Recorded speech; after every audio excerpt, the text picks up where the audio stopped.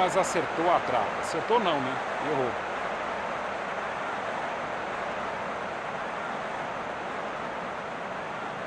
O terceiro batedor já vai se posicionar.